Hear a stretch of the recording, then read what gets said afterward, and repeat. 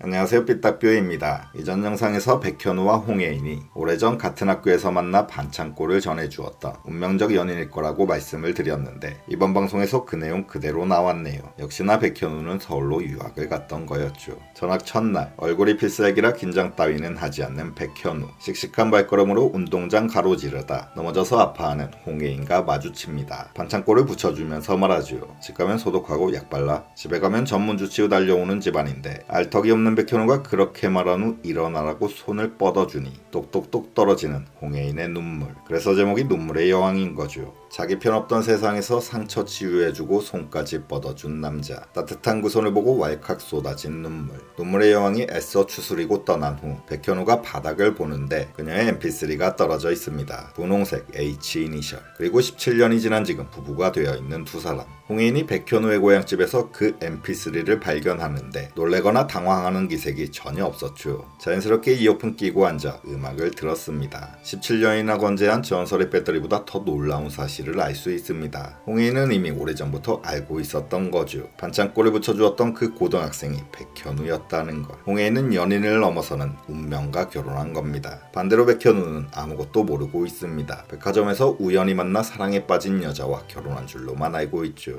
Mp3 흘리고 갔던 여고생이 혜인이라는 걸 전혀 모릅니다. 오래전 mp3 주어 서랍에 넣어둘 때 H 이니셜 보면서 잠깐 생각을 했었겠죠. 이름이 한나인가? 해주인가? 할인인가? 그 H의 주인공 혜인이가 지금 자기의 아내가 되어 있다는 걸 전혀 모릅니다. 다 알고 있는 혜인이는 백현우가 17년 전에 그 남학생이었다는 걸 언제 처음 알았을까요? 많이들 하실 법한 예상은 사귀기 시작한 후에 혹은 결혼 후에 알게 됐을 거다라는 생각이겠죠. 백현우의 본가에 가서 우연히 mp3를 발견하고 아 이 남자가 오래전 그 남자였구나 알게 됐을 거라는 예상입니다. 하지만 그건 제일 먼저 드는 생각이기에 오히려 가능성이 없습니다. 눈물의 여왕은 기억과 운명을 얘기하는 드라마 결론부터 말씀드리면 홍혜인은 5년 전 백화점에서 백현우와 처음 맞닥뜨렸 던 그때부터 이미 알고 있었습니다. 2006년 하늘 외고 반창고와 따뜻한 손을 내밀어줘 주었었던 한순간도 잊지 못했던 그 남자. 백화점에서 그 남자를 우연히 만난 게 아니고 오랫동안 그리워했던 그 남자와 비로소 백화점에서 재회를 한 겁니다. 자연스러운 연애 후 결혼한 게 아니고 운명적 그 남자를 일부러 쟁취해서 결혼에 꼴이 난 것입니다. 백현우가 먼저 좋아해서 고백하는 거 다 나왔는데 뭔 소리냐? 네, 우리는 당연히 그 장면들을 보았습니다. 그것도 꽤나 재밌게 보았습니다. 1화의 제일 초반 인턴으로 들어온 홍예인이 어리버리타니까 복사기 사용을 도와주었던 현우. 계단에서 이딴 식으로 하면 회사 잘린다면서 회장 손녀한테 훈계를 냈었던 현우. 우산 주면 환심 사기 위해 서울대 나왔다 우리 집 소가 30마리 등등. 제가 차원 앞에서 내 얼굴 자랑하는 듯한 소리 했었던 현우. 모두 아주 재밌고 당연하게 그 장면들을 봤었죠. 그렇게 누가 봐도 예쁜 홍예인한테 사랑에 빠져 고백하고 결혼하는 게 아주 당연해 보였습니다 그런데 당연하다 생각한 게 당연한 게 아니었을 때 감동은 배 배가 되는 법. 딱뷰 지난 영상의 댓글들과 같이 시골의 사람 백현우가 어떻게 서울의 고등학교를 다니냐? 오래전 만났던 사이며 기억을 못하는 게 말이 되냐? 등등 시청자들의 상식적이고 당연한 생각들을 뒤집는 의외의 장면들이 grand surprise 깜짝 놀라게 나와줘야 어머뭐야 이 드라마 전의 작가 누구야? 신선하고 운명적인 러브스토리의 감동을 증폭시킬 수 있으니 저는 분명히 홍해인 시점으로 다시 보기. 그때 그 장면들이 나올 것 같습니다. 운명적 만남 당연한 고백 자연스러운 결혼이 아닌 운명적 재회 기다렸던 고백 그리고 홍해인이 세상에 오직 단 한 명뿐인 이 남자와 얼마나 꿈꿔왔던 결혼을 한 건지 말입니다. 이런 예상 후에 지난 1화의 그 장면들을 다시 보면 완전히 새롭게 보입니다. 홍해인의 미묘한 눈빛이 다 보이죠. 17년 전 그 남자인 걸 알지만 전혀 티를 안 내는 재밌는 눈빛과 행동들. 5년 전 유학 갔다 돌아와 퀸즈백화점에서 일하기 시작한 인턴 홍해인이 겁도 없이 복사기를 발로 팡팡 찼었죠. 지나가던 백현우가 그걸 보고 다가왔던 게 첫 만남이었습니다. 여자 뭐야 예쁜데 무식하네 했겠죠. 그리고 도와주기 위해 팔 걷고 나서는데 진짜 팔소매를 걷습니다. 멈칫 놀란 홍예인은 그 남자의 팔뚝에 먼저 눈이 가고 그 다음 자연스럽게 얼굴을 올려다 봤습니다. 바로 이 장면 학교 운동장에서 둘이 처음 만났을 때와 똑같습니다. 홍혜는 그때도 반창고 전해주는 그 팔을 먼저 본 후에 자연스럽게 현우의 얼굴로 시선이 옮겨갔었죠. 운동장에서 반창고, 회사에서 복사기, 나를 위해 다가와준 똑같은 팔뚝, 똑같은 얼굴. 12년간 그리워했던 그 사람. 그런 관점에서 다시 보기를 하면 이때부터 나타나는 홍혜인의 표정 변화가 꽤나 재밌습니다. 시청자인 우리들한테는 복사기 앞에서 티격태격 썸 시작되는 남녀간의 풋풋한 눈빛으로만 보였지만 알고 보면 그 이상의 의미가 있었던 거죠. 혜인은 다시 제외한 현우를 느낌적인 느낌으로 바로 알아보고 완전히 다른 의미의 눈빛을 보냈던 겁니다. 복사기 대신 작동해주는 현우의 얼굴을 놀란 표정으로 바라봤었죠. 그때는 이 남자 뭐야 당황스럽네 그런 표정으로 우리한테 보였었지만 알고 보면 2006 반창고 너지 그런 놀란 표정으로 바라봤던 겁니다. 현우가 대신 복사해주고 돌아선 후 그런 현우의 뒷모습을 바라보면서 심각하게 눈을 꿈뻑꿈뻑 거렸었죠. 이 남자가 그 남자인 걸 확신하지만 아직은 긴가민가 싶은 겁니다. 쉽사리 확신하기엔 너무 꿈 같은 일이라 스스로도 믿을 수가 없는 겁니다. 그래서 그 뒤로도 계속 복사기를 차대죠. 현우를 불러내기 위해 발로 찰 때마다 빵 셔틀이 아니라 복사 셔틀 현우는 항상 달려왔습니다. 이라 때 나온 거라 잘 기억이 안 나시겠지만 그렇게 몇 번을 복사기 앞으로 불러냈었죠. 발로 차면 현우 온다 파블로프에게처럼 항상 복사기 앞으로 와줬습니다. 그렇게 복사기 앞에서 현우 얼굴을 두 번 보고 세 번 보고 네 번 보고 처음에는 긴가민가 하면서 애매하고 심각했던 혜인의 표정이 점차 여유롭게 변해가는 걸 알 수 있습니다. 그리고 마지막 다섯 번째 복사기 앞에서의 만남. 이때 혜인은 현우의 얼굴을 뚫어지게 쳐다본 후 그제서야 꿈이 아니라 이 모든 게 진짜 현실이라는 듯 아주 속 시원한 피식 웃음을 짓죠. 더 이상 의심의 여지 없이 2006 한일외고 반창고가 이 남자라는 걸 완벽하게 확신한 순간입니다. 복사기가 맺어준 인연. 나중에 자식 낳았는데 엄마 아빠는 어떻게 만났어 물어보면 복사기과니까 아빠 와서 말해주면 됩니다.